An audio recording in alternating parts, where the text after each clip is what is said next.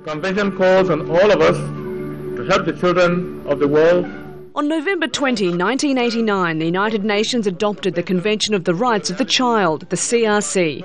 The treaty was designed with four core principles in mind non discrimination, the best interest of the child, rights to life, survival and development, and respect for the views of children. Twenty years on, the United Nations Children's Fund claims the CRC has had a significant impact on the welfare of children worldwide. 70 countries have included children's codes into national legislation based on the Convention's provisions. Important steps have been taken to prevent children becoming soldiers or trafficked into prostitution, and the annual number of deaths of children aged under five has fallen by 28% in the past 18 years. The UN Convention for the Rights of the Child has 193 ratifications. That's the highest number for any human rights treaties. Only two UN member states have not ratified the CRC. One of them is Somalia, which has not had a functioning government for almost 20 years. The other is the United States of America. It's embarrassing to find ourselves in the company of Somalia, a lawless land.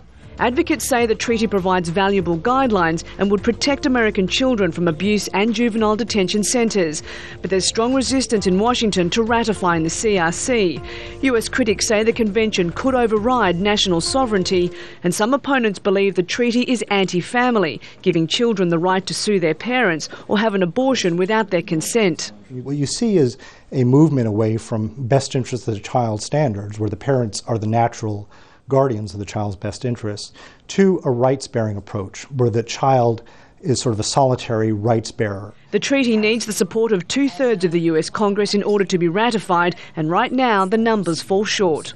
It is frustrating that the US is the only country that has not approved this, and we certainly hope that progress can soon be ma- made I think it's a question of integrity, and I'm actually quite proud of the United States that it says that this is a flawed treaty and we're not going to just sign on to it just so we can be part of the crowd.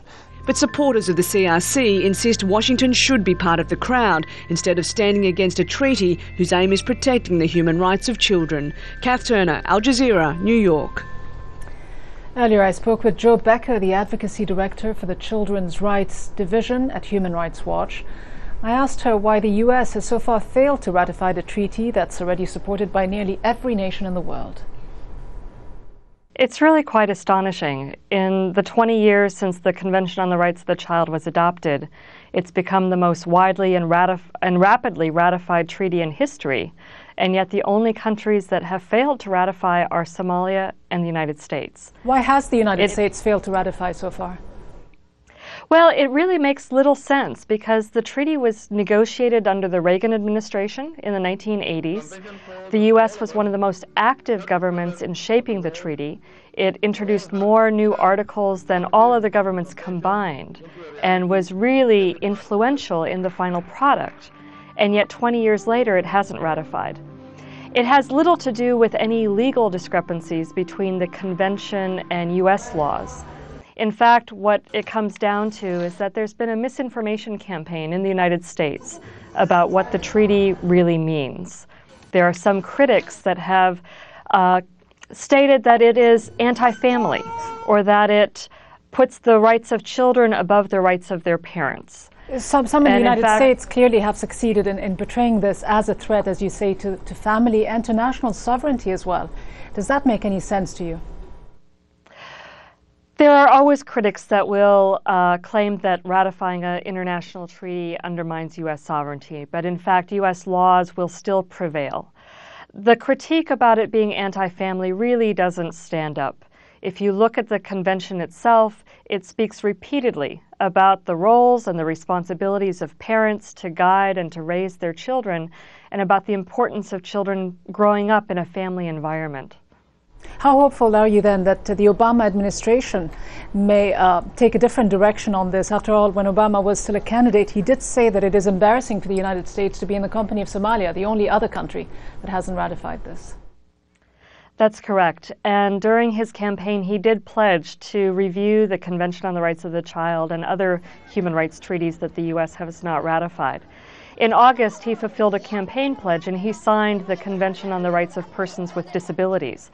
That was the first international human rights treaty that the U.S. has signed in nearly a decade.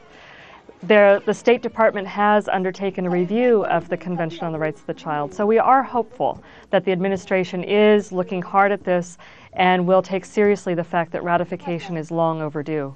And 20 years on, what would you say have been the major successes and what still needs to be done Uh, for the Convention on the, on the Rights of the Child to really be as effective as, as you might want it to be? Well, the convention has certainly had positive benefits.